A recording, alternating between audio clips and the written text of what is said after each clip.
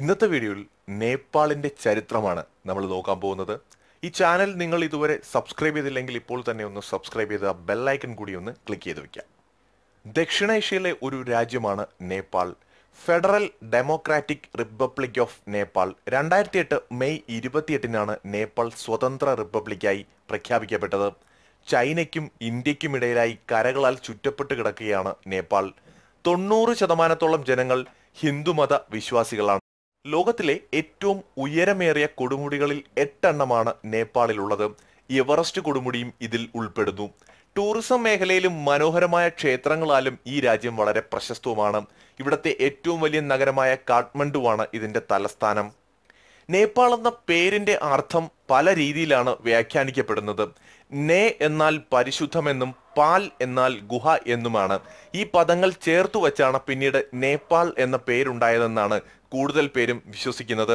കാഠ്മണ്ഡു താഴ്വരയിൽ നിന്ന് ലഭിച്ച നവീന ശിലായുഗ ആയുധങ്ങൾ ഇവിടെ ഒൻപതിനായിരം വർഷങ്ങൾക്ക് മുമ്പ് തന്നെ ജനവാസം ഉണ്ടായിരുന്നുവെന്ന് സൂചിപ്പിക്കുന്നു.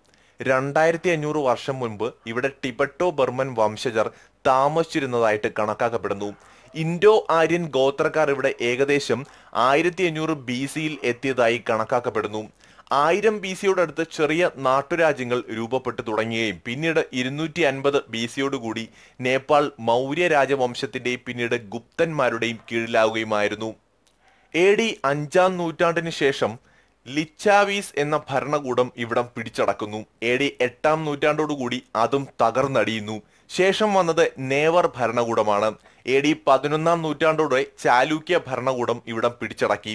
ആയിരത്തി നാനൂറ്റി എൺപത്തിരണ്ടിൽ നേപ്പാൾ കാഠ്മണ്ഡു പഠാൻ ഭാഗ്തോൺ എന്നീ പ്രവിശ്യകളായി വിഭജിക്കപ്പെട്ടു. ആയിരത്തി എഴുന്നൂറ്റി അറുപത്തിയഞ്ചിൽ ഗൂർഖകളിൽപ്പെട്ട പൃഥ്വി നാരായൺ ഷാ നേപ്പാളിനെ ഏകീകരിച്ചു. ബ്രിട്ടീഷ് ഈസ്റ്റ് ഇന്ത്യ കമ്പനിയുമായുള്ള തർക്കം ആംഗ്ലോ നേപ്പാളി യുദ്ധത്തിന് വഴിവെച്ചു. ഇതേ തുടർന്ന് നേപ്പാളിന് ചില പ്രവിശ്യകൾ നഷ്ടമാവുകയും ചെയ്തു. യുദ്ധത്തിന് ശേഷം രാജകുടുംബത്തിന് സ്ഥിരത നഷ്ടപ്പെടുകയും ഉണ്ടായി. ജംഗ് ബഹദൂർ എന്ന പട്ടാള നേതാവും രാജകുടുംബവും തമ്മിൽ നടന്ന യുദ്ധത്തിൽ ബഹദൂർ വിജയിക്കുകയും അദ്ദേഹം റാണ സാമ്രാജ്യം സ്ഥാപിക്കുകയും ചെയ്തു. റാണകൾ ആയിരത്തി എണ്ണൂറ്റി അൻപത്തി ഏഴിലെ ശിപായി ലഹളയിലും രണ്ട് ലോക മഹായുദ്ധത്തിലും ബ്രിട്ടനെ സഹായിച്ചിട്ടുണ്ട്.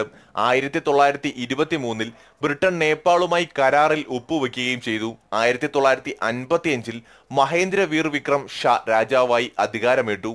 ആയിരത്തി തൊള്ളായിരത്തി അൻപത്തി ഒൻപതിൽ ഇവിടെ ഒരു പാർട്ടി രഹിത പഞ്ചായത്ത് രീതി നടപ്പിൽ വന്നു. ആയിരത്തി തൊള്ളായിരത്തി എഴുപത്തിരണ്ടിൽ വീരേന്ദ്ര രാജകുമാരൻ രാജാവായി. ജൻ അന്തോളനിന്റെ പ്രവർത്തന ഫലമായി ആയിരത്തി തൊള്ളായിരത്തി തൊണ്ണൂറ്റി ഒന്നിൽ ഒരു ബഹുപാർട്ടി പാർലമെന്റ് നേപ്പാളിൽ നിലവിൽ വന്നു.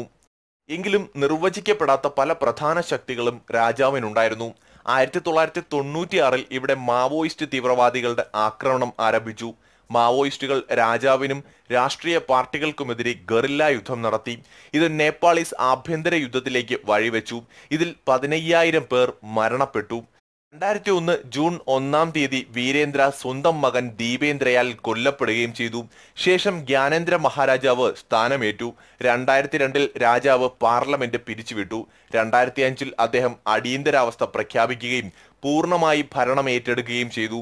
രണ്ടായിരത്തി ആറിലെ ജനാധിപത്യ നീക്കത്തെ തുടർന്ന് ഏപ്രിൽ ഇരുപത്തിനാലിന് പരമാധികാരം ജനങ്ങൾക്ക് അദ്ദേഹം തിരിച്ചു നൽകുകയും പാർലമെന്റ് വീണ്ടും വിളിച്ചു കൂട്ടുകയും ചെയ്തു. മെയ് പതിനെട്ട് രണ്ടായിരത്തി പതിനാറിൽ പാർലമെന്റ് നേപ്പാളിനെ ഒരു മതേതര രാഷ്ട്രമായി പ്രഖ്യാപിക്കുകയും ചെയ്തു. ലോകത്തിലെ ഏറ്റവും പുതിയ റിപ്പബ്ലിക്കായിട്ടാണ് നേപ്പാളിനെ വിലയിരുത്തുന്നത്. രണ്ടായിരത്തി എട്ട് മെയ് ഇരുപത്തിയെട്ടിനാണ് നേപ്പാൾ റിപ്പബ്ലിക്കായി പ്രഖ്യാപിക്കപ്പെട്ടത്. അതോടെ ഇരുന്നൂറ്റി നാൽപ്പത് വർഷം പഴക്കമുള്ള രാജവംശവും രാജപ്രതാപവുമാണ് ചരിത്രമായി മാറിയത്. ഇന്നും ലോകത്തിലെ അവികസിത രാജ്യങ്ങളിൽ ഒന്നാണ് നേപ്പാൾ. രാജ്യത്തെ ജനസംഖ്യയുടെ നാലിൽ ഒരു ഭാഗം ദാരിദ്ര്യരേഖയ്ക്ക് താഴെയാണ്. കൃഷിയാണ് സാമ്പത്തിക വ്യവസ്ഥയുടെ മുഖ്യശക്തി രാജ്യത്തിന്റെ ആകെ വിസ്തൃതിയുടെ ഇരുപത് ശതമാനം കൃഷി ചെയ്യുന്നു. നാൽപ്പത് ശതമാനത്തോളം വനവും പർവതങ്ങളുമാണ്. രാജ്യവരുമാനത്തിന്റെ അൻപത്തിയേഴ് ശതമാനവും സേവന മേഖലയിൽ നിന്നുമാണ് ലഭിക്കുന്നത്. ഒരു കാലത്ത് ഇന്ത്യയുമായിട്ട് വളരെ അടുത്ത ബന്ധം പുലർത്തിയിരുന്ന രാജ്യമാണ് നേപ്പാൾ. ഇന്ത്യയിൽ നിന്ന് പല സഹായങ്ങളും നേപ്പാൾ സ്വീകരിച്ചിട്ടുമുണ്ട്. എന്നാൽ അടുത്ത കാലങ്ങളായി നേപ്പാളിന് ചൈനയോടും ഒരു ചെറിയ ചായ്വ് പ്രകടമായി തുടങ്ങിയിട്ടുണ്ട്. എന്തായാലും നേപ്പാളിനെ കുറിച്ചിട്ടുള്ള ഈ വീഡിയോ നിങ്ങൾക്ക് ഏവർക്കും ഇഷ്ടമായെന്ന് കരുതുന്നു. ഇനി അടുത്ത വിഷയവുമായിട്ട് വീണ്ടും കാണുന്നവരെ ഗുഡ് ബൈ.